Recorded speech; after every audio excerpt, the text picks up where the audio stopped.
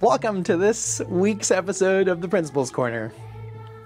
Our elementary Spanish department was led out by Mrs. Moretta in celebration for the end of Hispanic Heritage Month. Elementary students in our lower schools celebrated in different ways, including highlighting the amazing contributions from famous Hispanic leaders, music, folkloric dance, and a parade of nations. My favorite part was a special interview from our very own SAA students on what they enjoyed most about their own cultural heritage.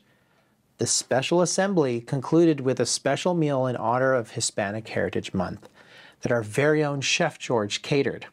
The food included plantains, beans, rice, and a special tres leches dessert. Yum.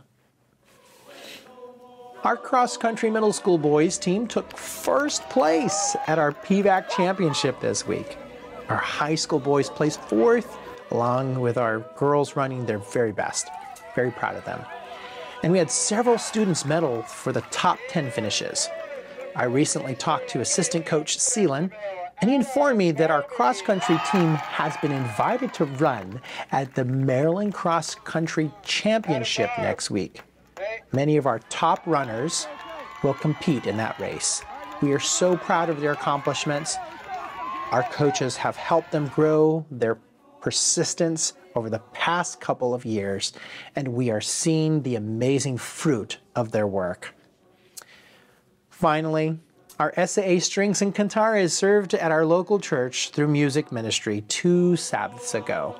I was so proud at how our students represented our school and blessed our church. That's all for now.